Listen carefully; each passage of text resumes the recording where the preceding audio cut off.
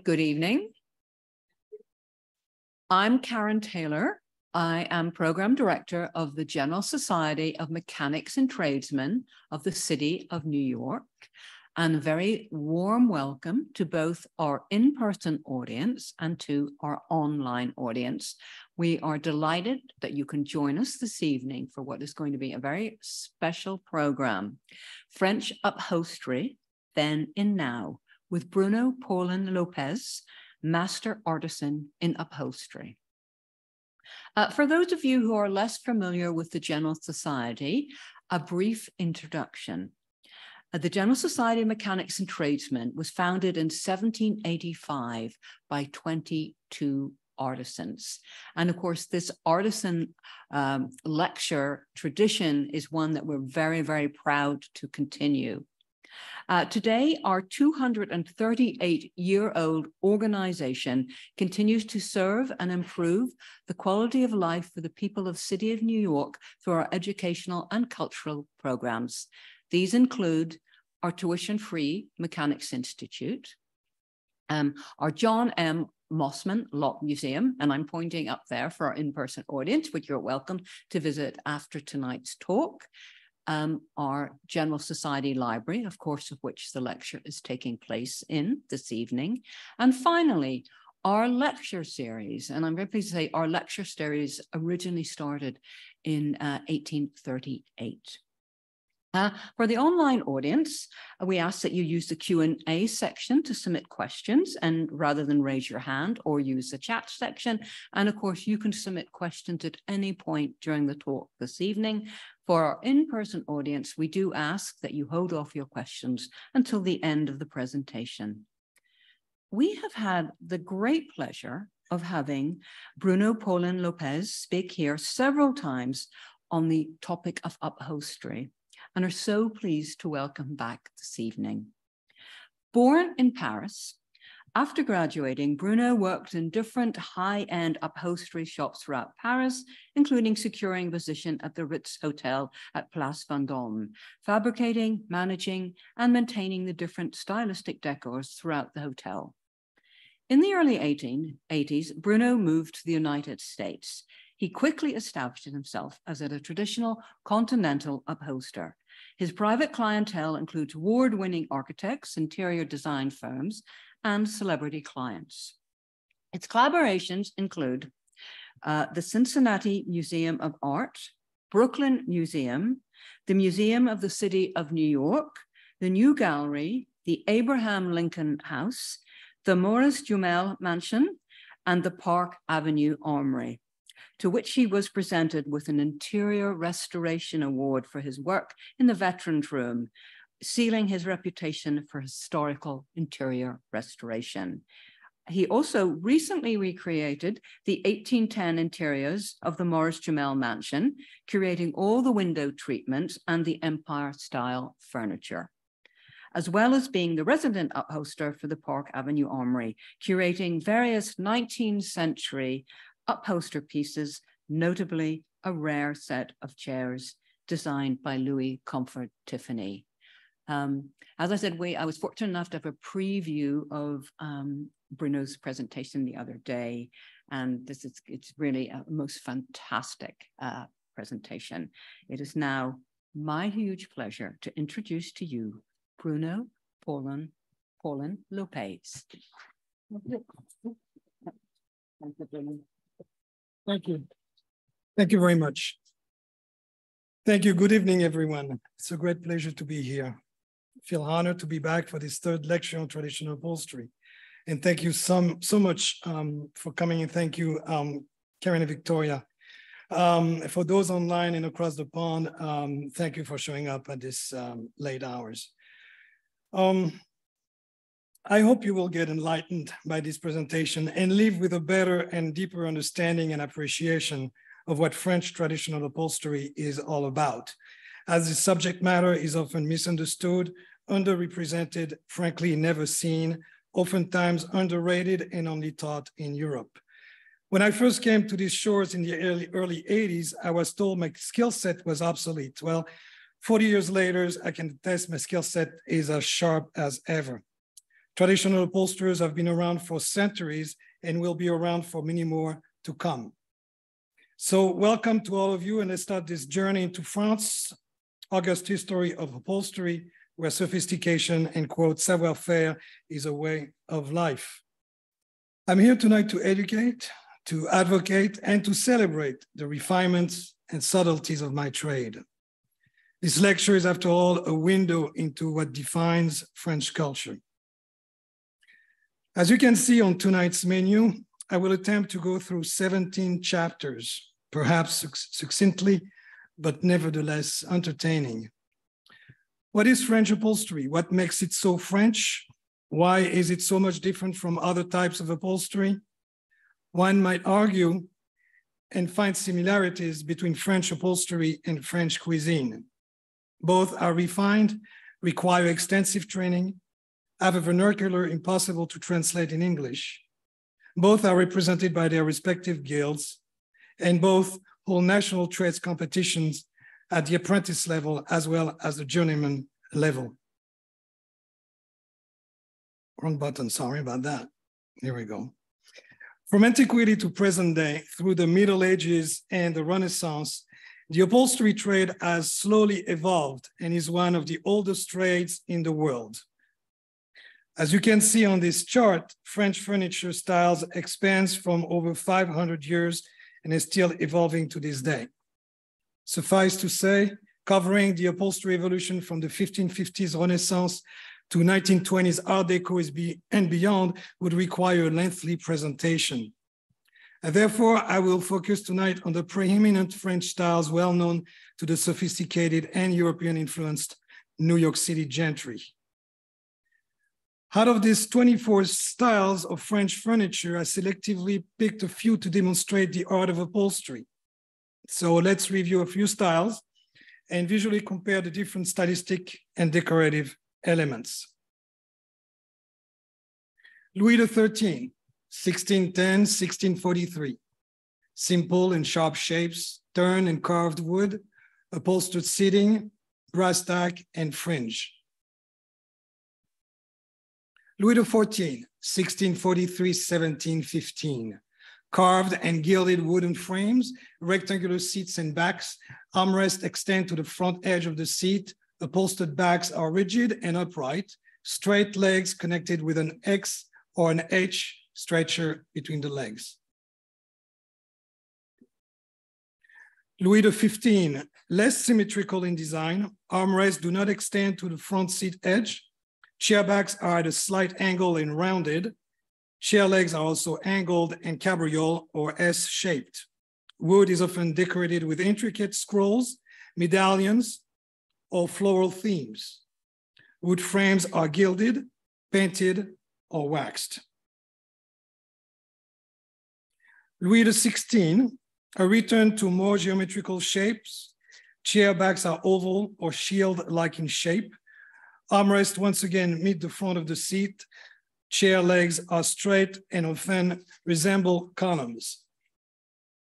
Decorative carving are more restrained, classical themes. Wood is painted, gilded, waxed, or varnished. As you can see in this particular slide, the chair belonged to Marie Antoinette, and you can see how wonderful the colors are, and you can imagine the interiors were vibrant at that period of time. This is another suite for the Comte d'Artois, Turkish suite that was totally restored and um, called Turkish because of the ornamentation and the festoons around the frame and on the back. Empire, 1804, 1815, clean lines, heavy and dark wood, upholstery using primarily one color, claws, paws, wings, eagles, dolphin or swan adornments. Wood is painted, gilded, or varnished. Second Empire or Napoleon III, 1852 and 1870. Comfort, highly decorative, tufting, tassels, and fringes. Wood is lacquered or gilded. Art Deco, exotic woods and marquetry. Wood surfaces are lacquered or gilded, middle feet and decorative elements, comfort, bold geometric forms, bright colors, highly stylized geometric curves. Sorry about that. Here you have um, a few examples of the period, Jacques-Émile Ruhlmann, Jules Leleu, and Jean-Michel Frank. Here on this slide, you have Eileen Gray looking at her famous dragon's armchair. That armchair was from the estate of Yves Saint Laurent and was auctioned at Christie for $28 million in 2009. Contemporary, um, here you have the office of François Mitterrand at the Élysée Palace, furnished by Pierre Paulin. Pierre Paulin, 1927-2009, was a French furniture designer and interior designer. He redecorated the living, dining, smoking, and exhibition rooms at the Élysée Palace, private apartments for Pompidou in 1971. And in 1983, he furnished the office of François Mitterrand. Pierre Paulin is a graduate of École Camondo, and during that time, he started to stretch swimwear material over traditional chairs. Here are some examples of Pierre Paulin iconic chairs, the tongue chair, the ribbon chair, and the mushroom chair. Now we will go back to the mechanism of upholstery, styles and shapes of seats, backs, and armrest. On this particular slide, you can see on the left the evolution of a seat from Louis XIII to the 20th century. And as you go through um, the historical uh, chronology, you can see the seats being fatter and thicker and taller and as it goes in, um, in those styles, the Louis XV is very gracious and the Louis XVI and Empire are rather square looking. On the right side of um, the slides, you can see a cross section of a Louis XV chair that has um, rolls um, all around the, the um, periphery of the seat and the roll and the inside of the well is filled with uh, horsehair or Algerian grass. Again, here you have a contrast of seat profile. You have the Regence, Louis XV, Louis XVI, Louis XV transitional, Louis XVI, Directoire, and Empire. Various methods to upholster a seat with different materials. As you can see on the top left, um, this is a traditional seat, and regardless of what is used to upholster the seat, what is important is to keep the historical shape. Regardless of the period, it's all about the final shape, whether the arms, the seat, or the back. It is the appropriate historical shape that will make or break the value of the object. That notion is valid not only on traditional upholstery, but also in bespoke furniture as well, as it is our responsibility as professional upholsterers to carry out the designer's vision. Armrest and backs and seats. Louis XV is rather um, gracious, shaped like a bean, generous, and follow the curves line of the frame. Louis XVI is more defined and square, stitched and fitted. Empire, cylindrical and tubular, very crisp and rigid looking. And the same look on an oblong Empire armrest. On this slide, you can see the difference between a Louis XV and an Empire and the evolution of the shapes and the forms in an upholstery. What is French upholstery? French upholstery is the ancestral trade of fabricating and forming sitting comfort with vegetal and animal fibers and shaping stylistic elements rooted in traditional know-how on historical artifacts. French upholstery is refined and delicate in its execution and requires hand dexterity as well as a trained eye to execute accurately the different stylistic expression of furniture designs throughout its cultural heritage. On the left slide, you can see 12 steps to build a sprung seat with vegetal fiber and horsehair. On the right slide, you can see 12 step to build a back, an oval back with horsehair. And the center slide show the supplies and tools needed to do this work. Upholstery training, um, traditional upholstery training in France, uh, you can go several routes. One route is to do an apprenticeship uh, with an alternance between trade school and workshop, two years diploma, equivalent to an associate degree, and four years diploma, equivalent to Bachelor of Arts. It's governed by the French Department of Education and free tuition. You can also do a four-year degree or a reconversion or second career degree. Training, training institutions are La Bonne Graine Technical College, Boulle School of Applied Arts, Compagnon du Devoir. And all schools are curriculum and curriculums are in accordance with the French Department of Education.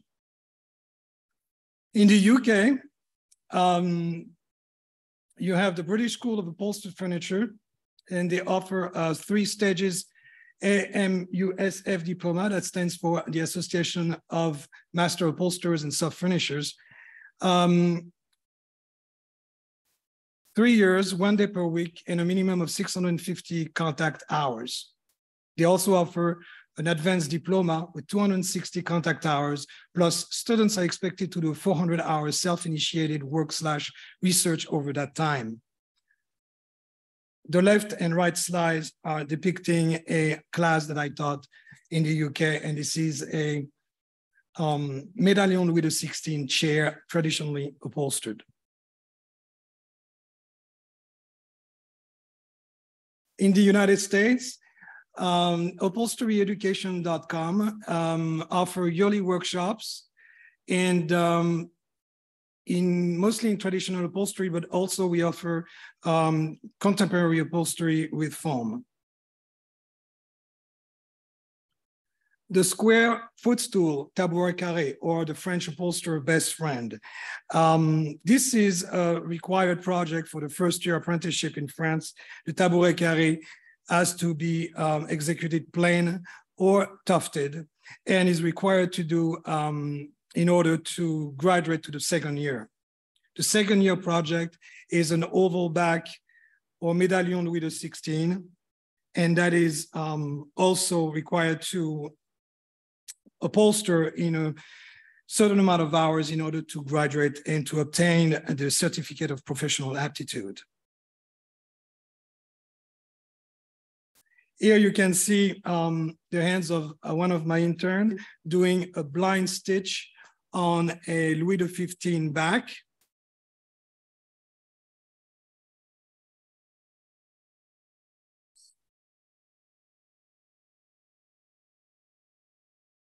The purpose of that stitch is to bring the horsehair forward and to maintain it as it will not collapse uh, when you put the fabric, it will the shape will remain and the um, structure will stay in place over time.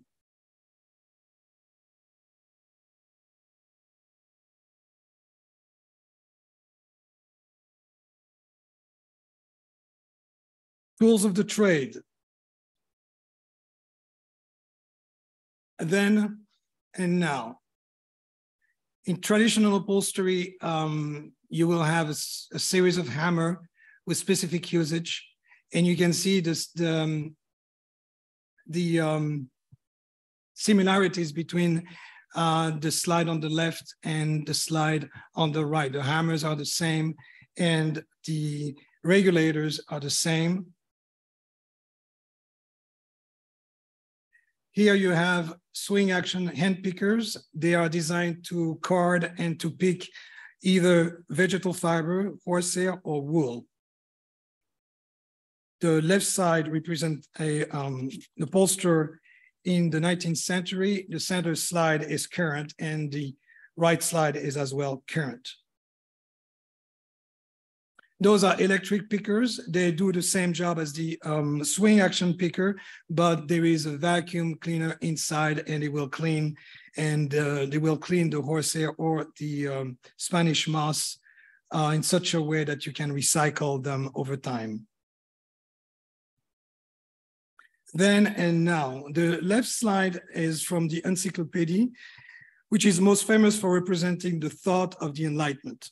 According to Denis Diderot in the article Encyclopedia, the encyclopedia's aim was to change the way people think and for people to be able to inform themselves and to know things. He and the other contributors advocated for the secularization of learning away from the Jesuits. Diderot wanted to incorporate all of the world's knowledge into the encyclopedia and hoped that the text could disseminate all this information to the public and future generations. Thus, it is an example of democratization of knowledge. It was the first general encyclopedia to describe the mechanical arts. Here on the left, you have um, an engraving that dates from 1751. And on the right, you have two ladies upholstering um, chairs and this picture that, that's from 2021. Same position of the body, same methods, same hand gestures, and similar tools. Here you have a class, um, picture of a class, current picture. You can see the students uh, sitting down on their little tabouret carré and upholstering the chairs. You have it's a it's a co-ed class. You have about seven ladies and um, five guys, I think. Supplies and notions.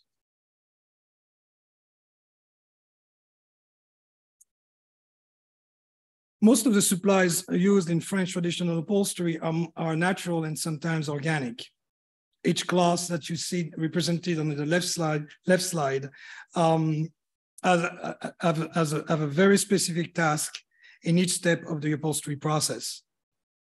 I will concentrate on um, this picture and this picture.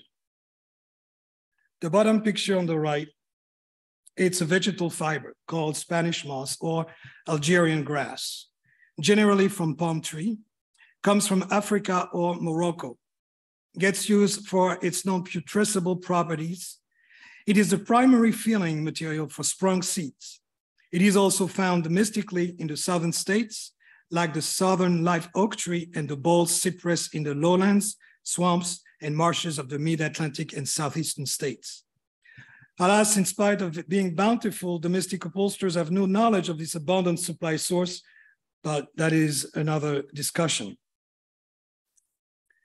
The upper right slide shows horsehair. It's the long hair growing on manes and tails of horses, usually used as a second stuffing on common furniture, but used throughout the entire piece for luxurious and important stamped framework.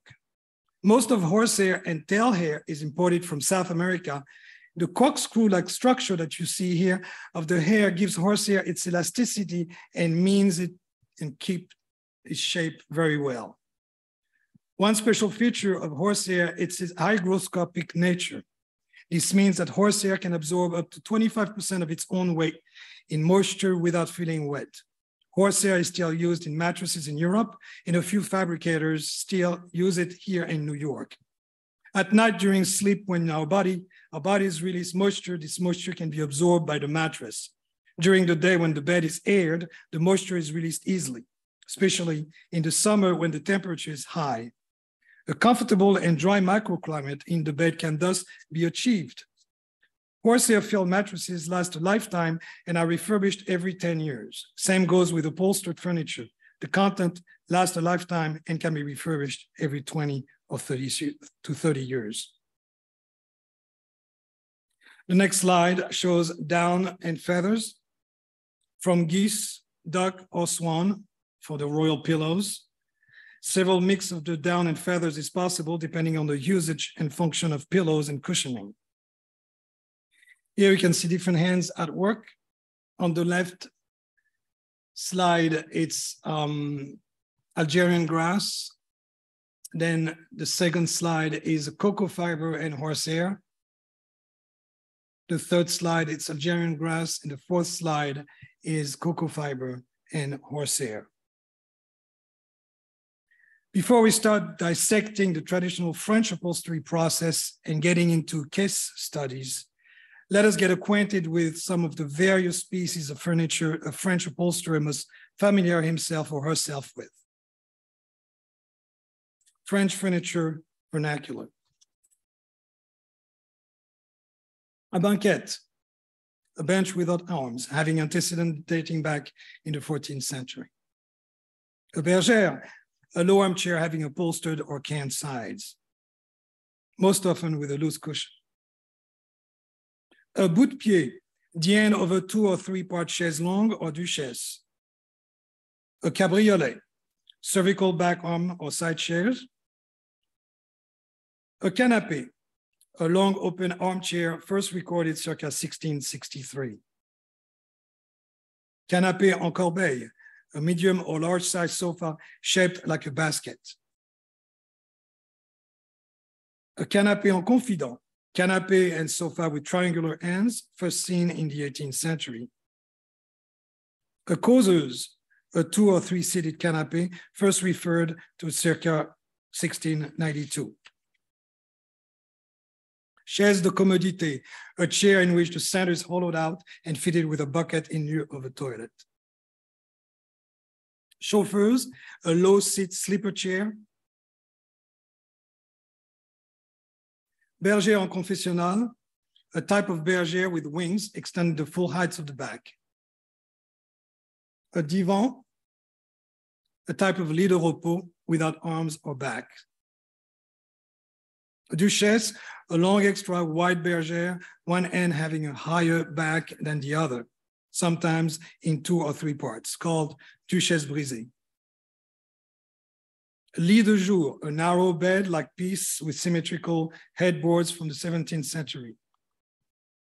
A marquise, a wide bergère or half sofa.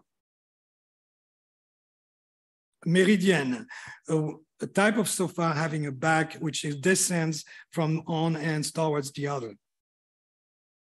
An ottoman, a small canapé en corbeille, a prie-dieu, a kneeling chair to pray,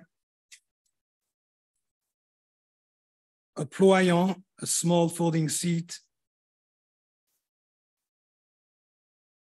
sofa, a large seat with a back having upholstery under the arms, a sultan, a large seat having two vertical ends. Turquoise, a large seat with two upright ends and sometimes a removable back. Tête-à-tête, a type of causeuse. Veilleuse, the veilleuse is a type of canapé lit with hugging arms but different size, one side higher than the other. Voyelle, a special side chair with upholstery at the top of the back for sitting on backwards for gaming, designed circa 1760. Voyeuse, an armchair or bergère with an upholstered top back rail for leaning, for leaning on by a viewer standing behind a seated person. Beside learning the application of tools and supplies, a French apprentice in traditional upholstery training will be tasked to memorize all styles of French sitting furniture.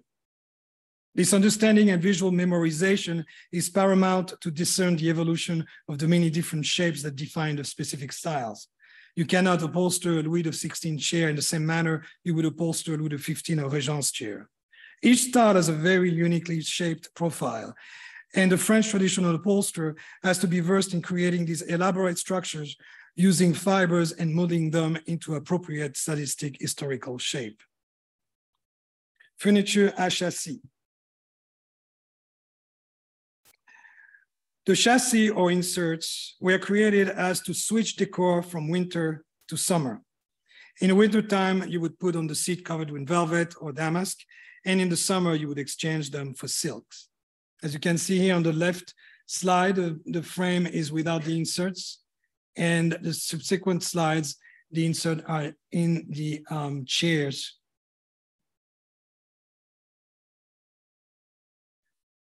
This is the four armchairs with the stamp of the maker named Jean Gourdin, the Pierre, Pierre, Gourdin, Parisian cabinet maker, raised as a master in 1714. He was patronized by the Marquis de Bercy and the Duchesse de Mazarin, active 1730-1770. Fabric, Tassinari et Châtel. The stamp that uh, you see on the upper slide um, was found on the back rail of each chair. Another um, fauteuil à châssis, fauteuil Louis, Louis XV, is here you can see the process of building the seats. This particular one had uh, little springs in order to uh, give more comfort.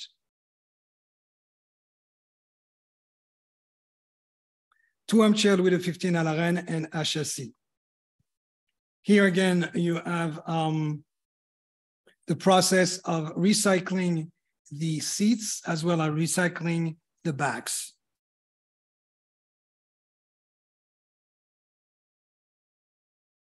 The slide here uh, shows the chairs totally stitched up with the muslin on the left and with the fabric on the right. Again, with the fabric, you can see the checkered cloth on the outside back of the chair, which is very traditional as well.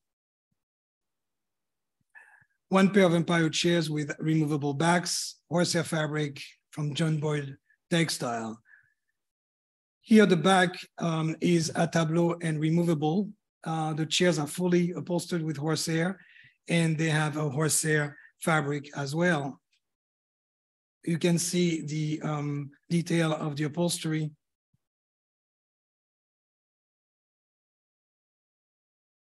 backrest en tableau. What is en tableau? En tableau is um, a 45 degree angle from the wood to the tip of the back. You can see on the left slide, the tip of the back has been um, covered with a gimp or a braid. And on the right slide, the tip of the back has been covered with a rope. the rope or the, the braid are hand stitched after the fact, after the, uh, the bag is upholstered. Another example of a bag à tableau, hand stitch, unstitched work on the left, upholstered with a horsehair on the right. Backrest à la reine, which means that the backs are flat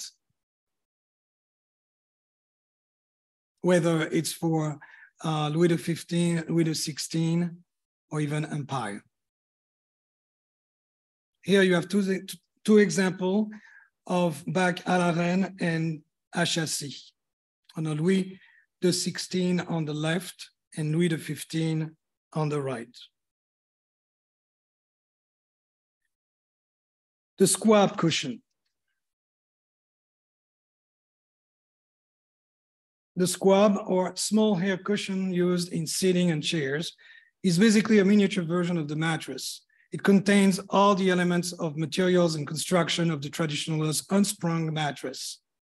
Good quality curled hair is carded and teased by hand and arranged to the right thickness and density inside a sewn up case. Cases are made up from jute or linen. The case is cut and sewn and sewn up and the subsequent filling is important and allows a controllable buildup appeared under the reign of Louis XV, the squab cushion will become widely used until the reign of Napoleon I. It becomes then very elaborate in its fabrication and requires precise control of the materials and the stitching mechanisms. On this slide, you can see the process of making a squab cushion filled with hair courtesy of a colleague at uh, the workshop of Versailles.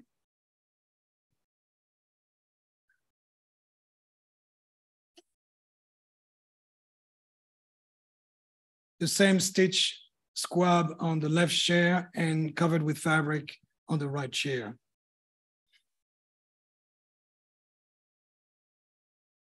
The squab cushion, once highly traditional, went through a rev revival of sorts, bringing the method to more innovative and artistic forms. Um, this is a um, class that we teach uh, with upholstery education. And um, this class is usually taught by Armand Verdier.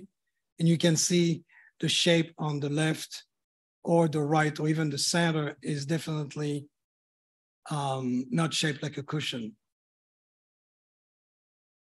The center slide shows the horsehair and the various needles and twine that are necessary to create those scrubs.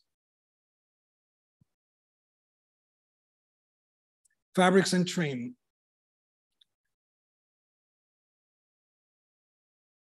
So let's go through a few words.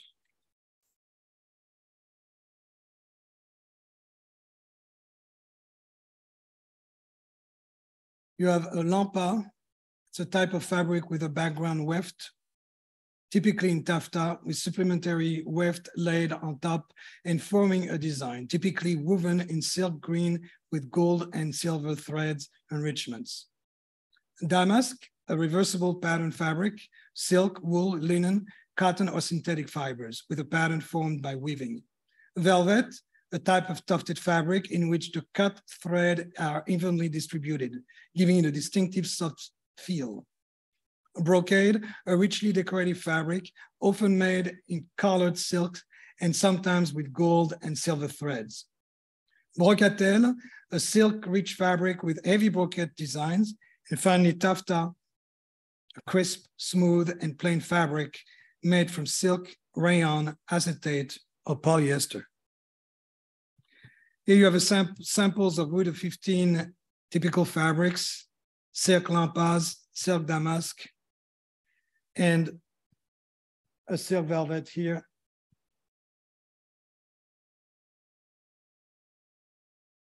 Trimmings Louis of 15, silk lampa and damask Louis XVI, trimmings Louis XVI, Empire embossed silk velvet on the left, Empire silk lampa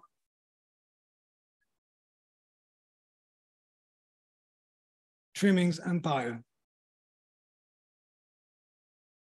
Different braid and fringes. Art Deco, Here you have a set of uh, Art Deco upholstered in Aubusson and Gobelin needlepoint tapestries.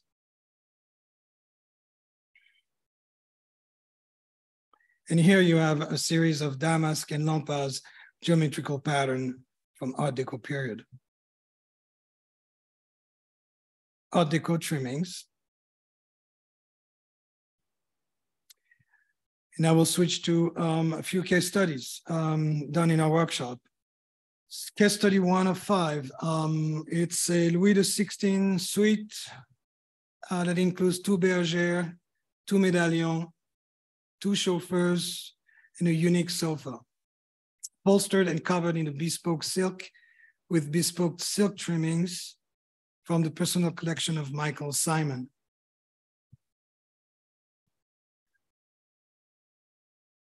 Here you can see the sofa frame and you will notice that it's quite an unusual shape. It was originally created to fit into an alcove.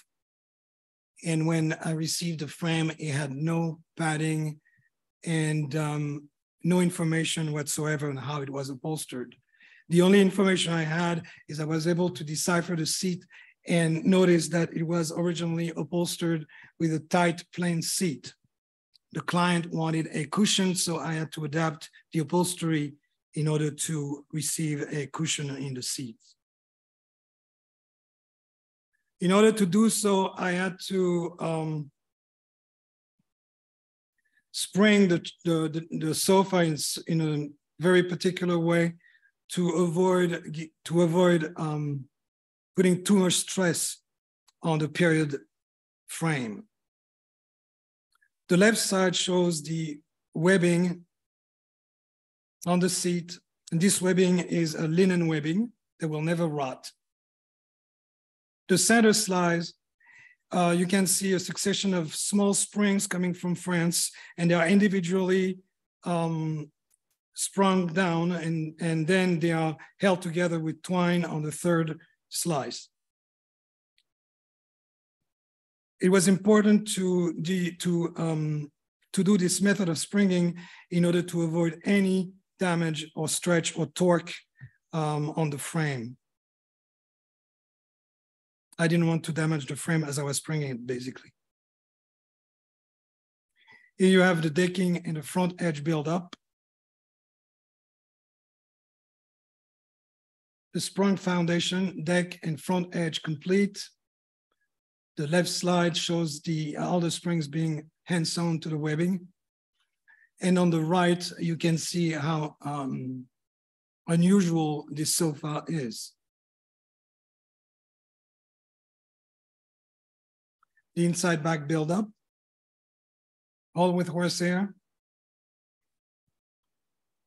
The inside back and inside arms build Here you can see the inside arm and back in muslin and the deck and the front edge are fully upholstered, ready to receive the cushion.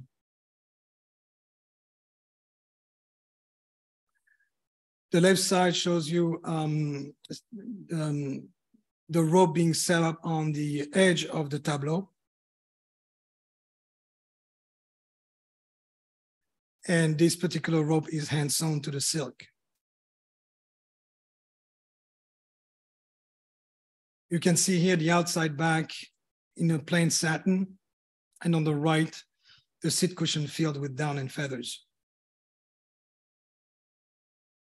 The finished sofa with back pillows. And those pillows are done the Turkish uh, style with um, sheared corners and the application of a fringe, a silk fringe all around them. A pair of bergère with a 16, same process, with the back à tableau. A pair of medallions with a 16.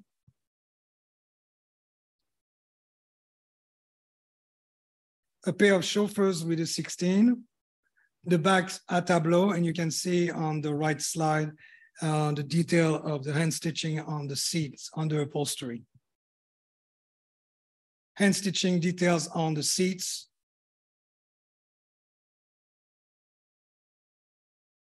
The complete suite fabric, Christopher Hyland.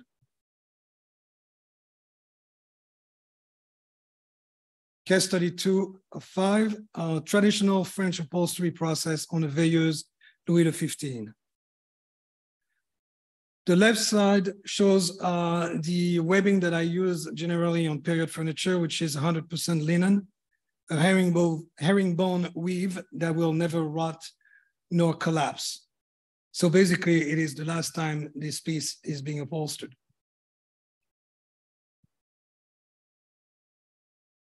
The back build up with horsehair. The back build up with horsehair, again, another view you can see that the horsehair doesn't go all the way to the bottom of the seat. It stays midway in order to um, give room to the cushion. First stuffing of horsehair, wrapped with scrim and hand stitched. Application of the second stuffing, muslin set and ready for fabric. Cotton velvet show cover. You can see the outside here. The decking is not made out of the same fabric in purpose. When this piece will be reupholstered, there will be no need to strip the deck nor stripping the um, under upholstery under that fabric. You just remove the front piece because it's uh, hand sewn to the deck.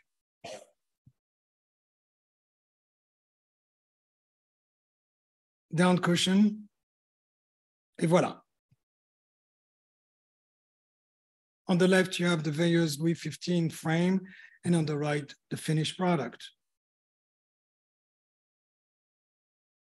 Case study three of five, um, another signed piece from François Reuze, uh, Louis XV Sultan, stamp FRC Rose. As you can see the stamp on the upper left slide.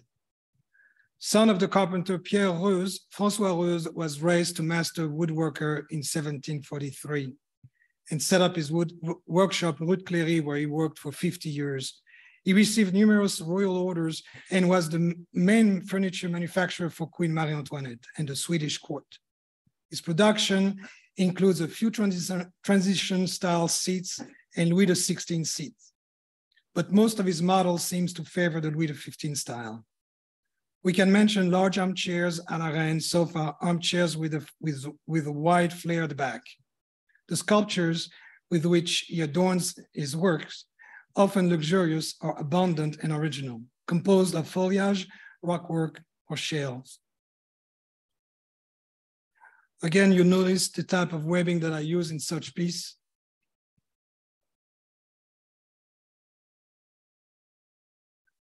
The platform deck is in muslin and the front edging also in muslin. Setting up the arm with Hessian. Then the, the, the horsehair is, um, is put uh, around the, um, uh, the twine and then it is wrapped and it is hand stitched in order to form it graciously and to be homogeneous with the shape of the 18th century piece. Hand stitch back and slides. Application of muslin and down cushion. Here you see a side views of the outside back, which is uh, silk satin and the outside arms. The pillows and a finished piece. Case study four of five. A pair of marquises and banquettes Louis XVI, textile conservation and complete replacement of the under upholstery.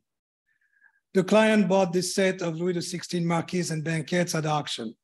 The client loved the existing fabrics and wished to preserve them. But alas, he could not live with the furniture since he was allergic to horsehair and to down.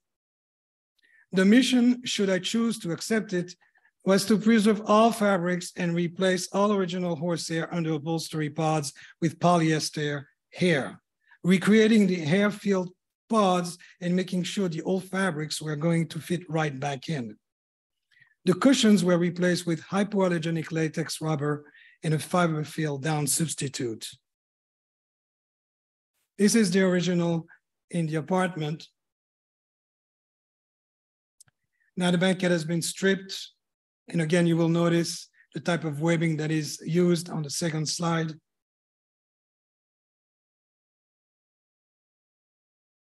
The platform is being rebuilt and the cushion set up.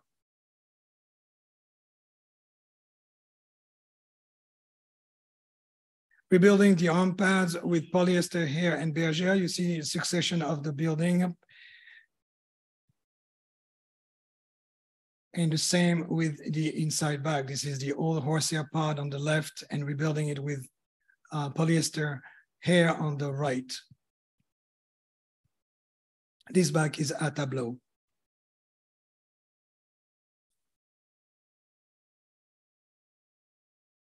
Building the inside arms with polyester hair. And the final product rebuild and ready for the client so he can breathe. Mm-hmm. Case study 5 of 5, a set of Louis XVI Bergère attributed to Maison Jansen, 1880-1989. What was Maison Jansen?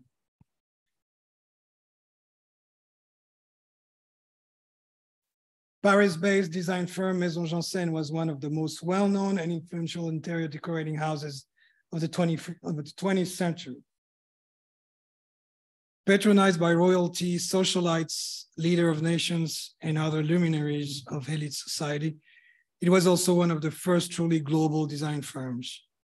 Founded in 1880 by Dutch designer Jean-Henri Jansen, 1854-1928, Maison Jansen originally sourced existing antiques or contracted outside cabinet makers to produce furniture when producing custom interiors for clients. By the 1890s, however, the firm began to manufacture furnishings in-house. By the 20s, Maison Jansen had offices around the world, during the early 20s, Stéphane Boudin, 1888-1967, joins Jansen as the chief designer and director. His attention to detail, concern for, for historical accuracy amongst its many projects, Boudin was responsible for the renovations of the White House, including the Red Room during the administration of John F. Kennedy. By 1930, Maison Jansen five-story Paris atelier employed over 700 highly skilled artisans. So under one roof, you had um, the designers and the artists, as well as the skilled craft people to execute the vision of the designers. So the designers had total control of the output and over the final production of the pieces, whether it was upholstery or complete interiors. Maison Jansen design aesthetic was forward-thinking and countercultural, even as the firm came to specialize in high-end reproductions. Amongst the many styles, Maison Jansen's furniture and interiors drew from our 18th century Bourbon court, the aesthetic movement, Art Nouveau, Art Moderne, and even mid-century modernism. The firm's genius lay in mining the past for forms, colors, and materials that were sure to make an impact. In 1989, 60 years after the death of its founder, Maison Jansen closed its doors. Today, Maison Jansen's designs are highly sought after by collectors. The most valuable and collectible examples of Maison Jansen furniture are 18th century antiques that were appropriated and reupholstered by Maison Jansen in the late 19th century. To date, the record for highest priced Maison Jansen piece was set at a Christie in London in 2005, when a suite of Louis XVI Parcels Gilt seat furniture originally designed by Mathieu Bauve in 1775 and reupholstered by Pierre Delbée, Delbée of Maison Jansen, realized $416,000.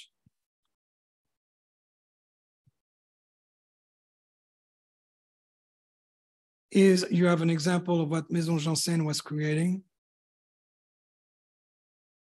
This is the Ronald Tree residence in England. This is the Salon blue and white bedroom.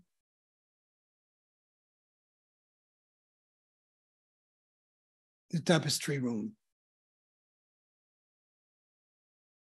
Now we go back to um, those four bergères. Upholstery build-up with mixed medium on four Louis XVI bergères attributed to Maison Jansen. You can see the foundation webbing foundation on the seat and all sprung up on the right slide.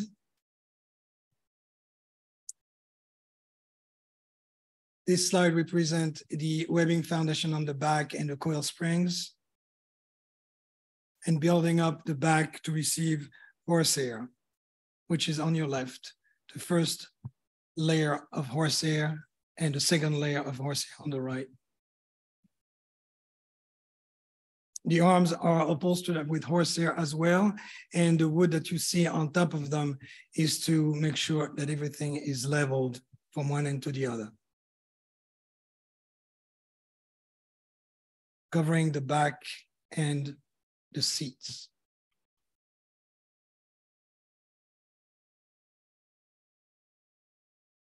Now you can see that the uh, fabric had to be uh, matched not only on the cushion, but also on the side with a little border that is around the inside back.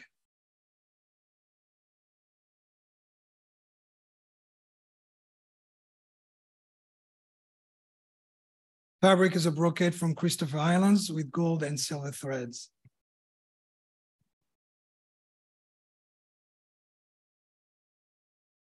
Non-intrusive upholstery treatment on a set of Charles Honoré Lannuier, 1779, 1819 for the John Jay Homestead, courtesy of the New York State Preservation Office. Mixed medium upholstery in a conservation context. Here you have the backs that are built on removable substrates. In the backs are done a tableau with polypropylene edging and horsehair.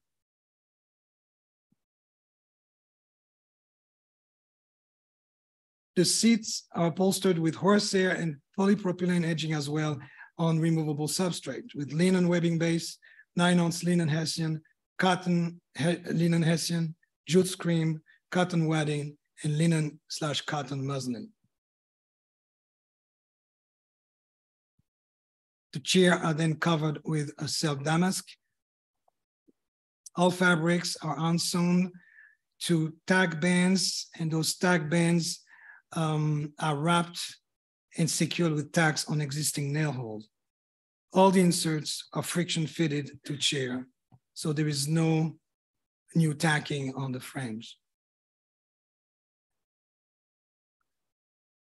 A Louis XVI suit from the bedroom of Thierry de Ville d'Avray stamped Jean-Baptiste Claude Séné, 1748-1803, raised master in 1769.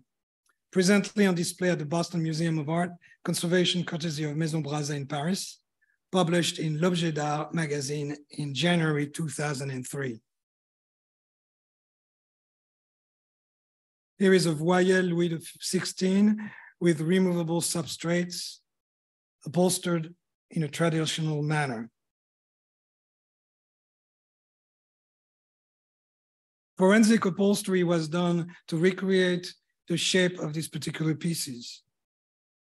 They were able to found original um, under upholstery and replicate this under upholstery with the same material in the same manner as it was done in 1700s. There is no foam, no ether foam, just horsehair, scrim, and twine.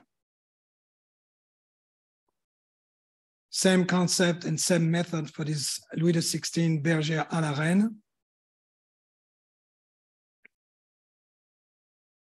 Upholstered traditionally and in a, tradi in a um, beautiful uh, damask from Tassinari-Châtel. now we'll move to artistic creative upholstery or how a traditional paradigm gets stretched to its limits.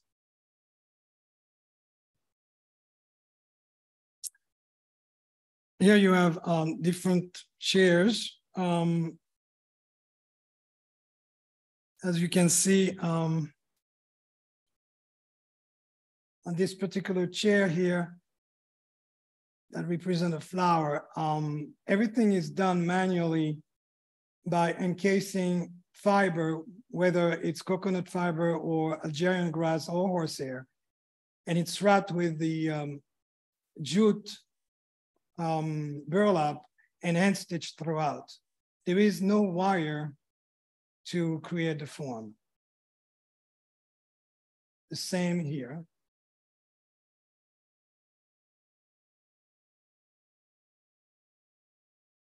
Here you have a chair entitled La, Bête, La Belle et la Bête, courtesy of Nadège Foin-Braquet.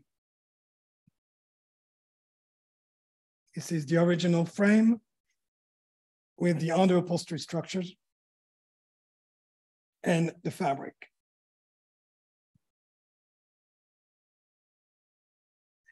Here you have a graduating projects uh, advanced diploma courtesy of the British School of Upholstered Furniture again, whether it is uh, this particular chair here or this leaf looking chair or this cabbage chair or this particular divan, it's all upholstered using traditional manner. There is no foam. There's some springs here under that and also here, I think. But it's all fiber and molded by hand and hand stitched by hand if it's hand stitches by hand anyway, right? Here you have creative upholstery courtesy of Katerina Gibb. You can see the way she expressed herself on this chair, where she left exposed the outside and the front, and you can see the other upholstery. Uh, you can see the squab here. The squab cushion is all hand stitched. And all this is hand stitched as well, like a quilting.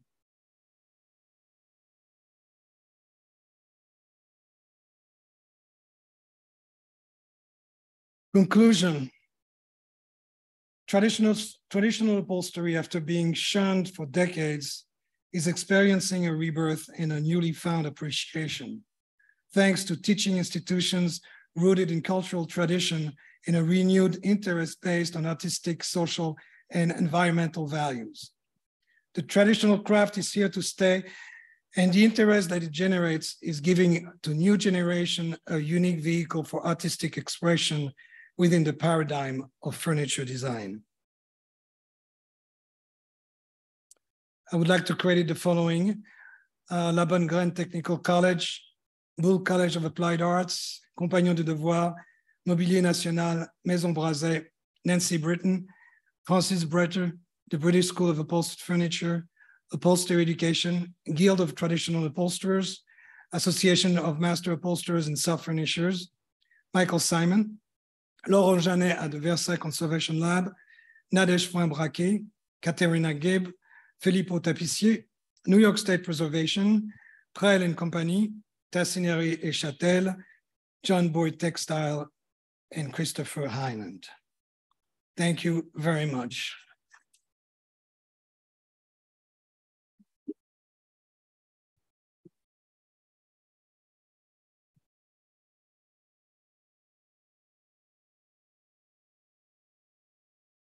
Bruno, all I can say is bravo. That was absolutely fantastic. Thank you.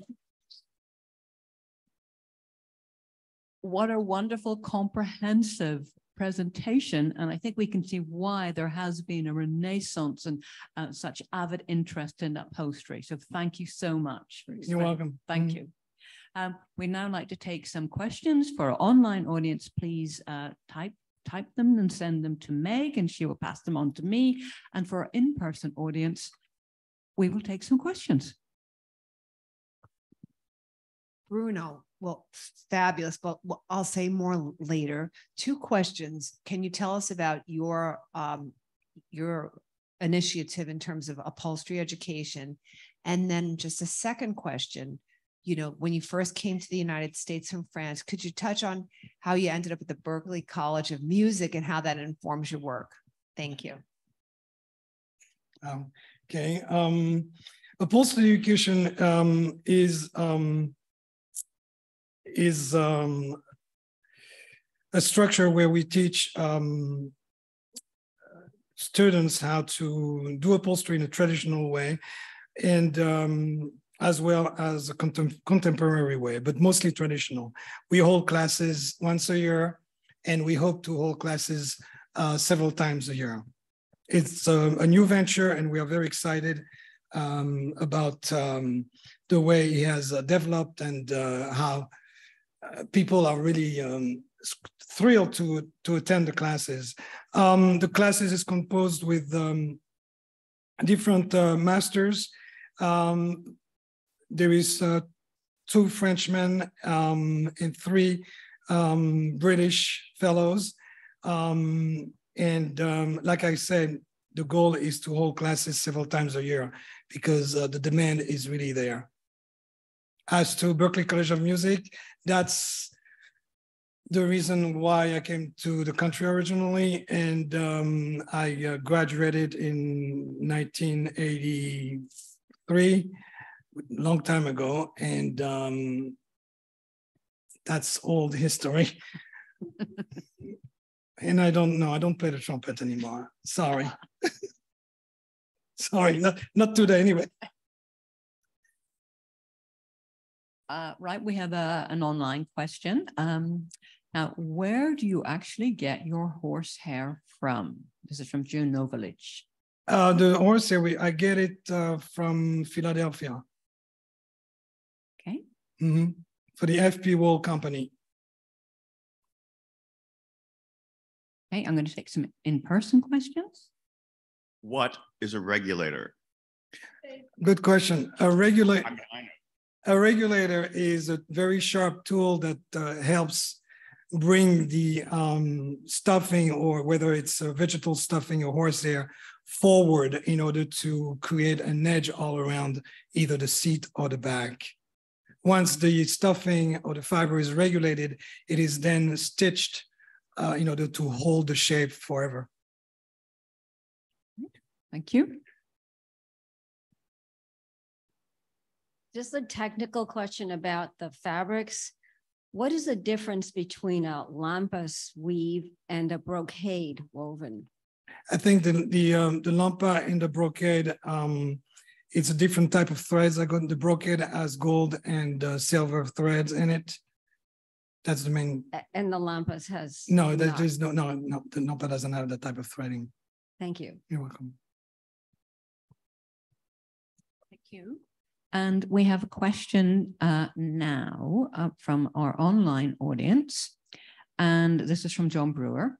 Now, how different is it to use synthetic materials to achieve the same look as traditional horsehair? Can you repeat the question, please? Uh, yes.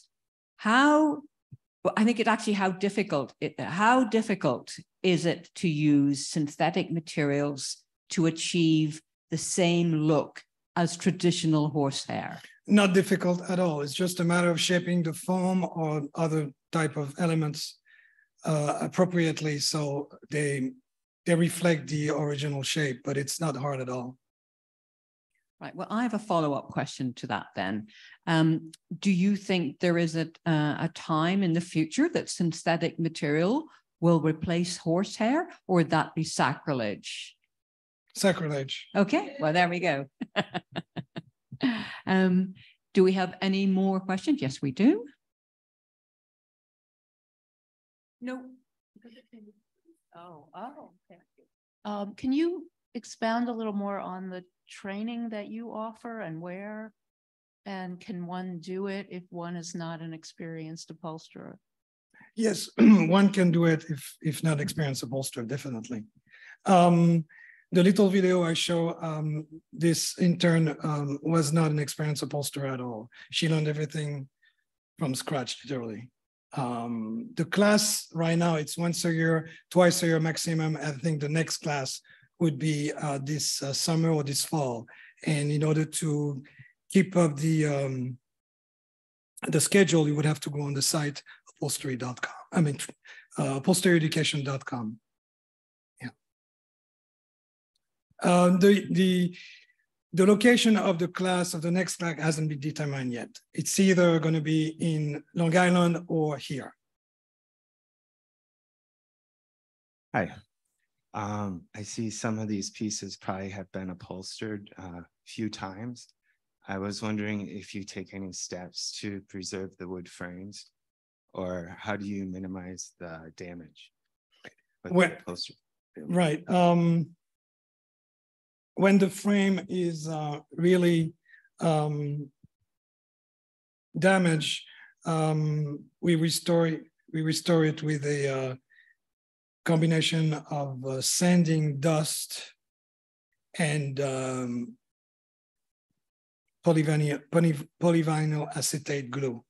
And we create a substance that has the consistency of peanut butter and we fill all the holes in order to avoid any more uh, damage.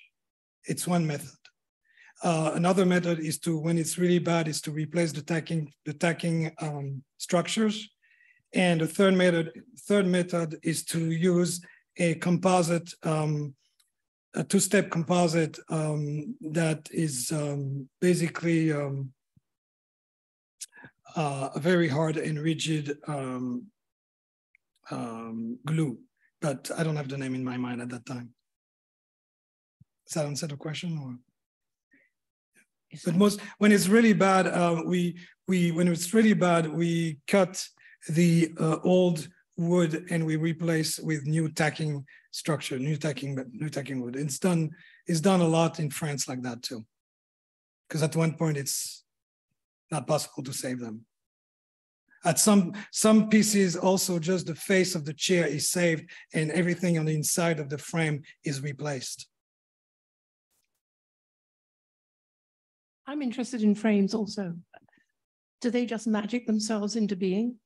Because you speak about upholstery, but um, many of those bergères and sofas had to have the wood frames to start with. And secondly, they look very fragile. Are they? They are not that fragile, no. They can't be, right? To They- survive. They, they can be, but also, you know, you have to put them in context and culture, cultural context. I mean, whoever sat on these pieces are not large people. Hmm. So they were not, you know, they were, you know, I mean, you, would- if you, if you would, uh, how can I say that? Um, the frames are fragile, but the construction and the geometry uh, of frames is such that um, it's not falling apart on you when you sit on it. Um, and the wood that is used is also very strong. Maple? Maple? Um, on the, no, it's mostly European beech. Hmm? European beech, yeah. Mhm, mhm. Um, On the, on the, on the, do you the teach frame making? no, You don't? Somebody has to make them. Hmm. just That's not your problem. No, just Hmm. upholstery. Thank you. Um, right, this, uh, um, this will be one of our last questions. Um, this is from online. This is from Sylvina online.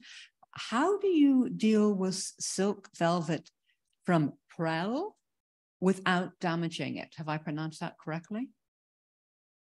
Uh, depending on the piece, is that a, um, is, the is the Prelle, is the Prelle velvet going to be sewn or is the Prelle velvet just, um, stretch over or what is the context? There, I'm afraid you have me, Bruno, and unless Sylvina responds very quickly online, I'm afraid we, we, we, we, we won't know. Um, but I'll take, I tell you But- I will but- take. But regard, regardless, Right. it is possible to use uh, gloves in order to uh, deal with such velvet. Right, well, we'll- we'll see if Sylvina responds very quickly, but in the meantime, I'm going to take another question from the audience, and I think if we, okay, I'll take, I think, okay, two more questions. I wanted to ask you about how many hours one Bergère chair. It- What's, what's the, t- the time spent to completely, Um, for, Reupholster. Fran- for qualified journeyman in France, about uh, twenty hours. No, that is certain, that is shorter, I think, than many of us would have anticipated it. the answer would be. For, for a trained journeyman in France, twenty hours. Right, Someone that has been trained properly with the, you know, because that's all, you have to understand that the French upholsterer doing a bergère is nothing exotic. It's bread and butter, really. right, okay. So the, the, the more and the more they, they do that continually, continuously. So the more they do it, the faster they get. ok- Okay, well, okay, I said, um, I'm going to take two more questions actually, because there's a, a- a- some ladies over here, okay, so we'll, and we still haven't heard from Sylvina. I, I'm sorry I came in late, but who in New, maybe this was answered, who in New York do, you know, does the best work in upholstery, traditional upholstery? You're in New York? You're Yeah. in New York. Okay. There, there is a few Well, people. had I known that, I would. There's a few would've people. "Well, Of course. Thank you. Uh, yes, uh, I think Bruno is very much available and um, would be interested in many queries, I would think. Okay, so we're going to take our final few questions. Um, so you mentioned that horsehair is also used as the fabric on the outside. Yes, Do you know how that's created? Like, is it, it's, it's a mix of horsehair and cotton uh, threads, So not just hundred percent because horsehair. horsehair seems like it would be very, um, sort of textural, like horse, horse, yes. Yeah, but it's not, it's, it's very refined. It's, it's, uh, it's uh, glazed and it's very, there is absolutely no, no coarseness to it when you sit on it, no. Yes, hi. So my question is this, when you said that there was this rejection of traditional upholstery techniques, are you referring really just to the materials used? That there would be a push towards using man-made or modern? What, what, if you could def- define what you mean by that rejection? Or shunning is your. your Shunning, word. yes. Um. uh, It's all about time and quality and um, the lack of uh, traditional training in this country. Um, First of all, the uh, training takes a while. It takes about two years minimum to train properly um, in traditional upholstery. Um, traditional upholstery takes time to to make, and um, what you sell at the end is you sell the hours that you have that you have put in the object. So um, if you can do a sofa is in 120 hours, you can do the same sofa in half the time with modern materials. It's an easier sale to the general public. So um, one of the um, factor that contributed is basically that it was taking too long to um, to make and the, the, the market was not there. So it had to be replaced with foam and so forth. Does that answer the question? Good. Right. Right. Yeah. Right.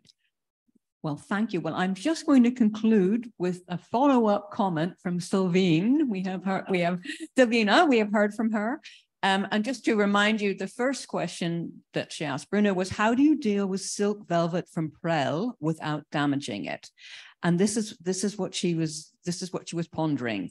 At home, every time people sit on these pieces, the velvet gets crushed you must have magic hands to handle it.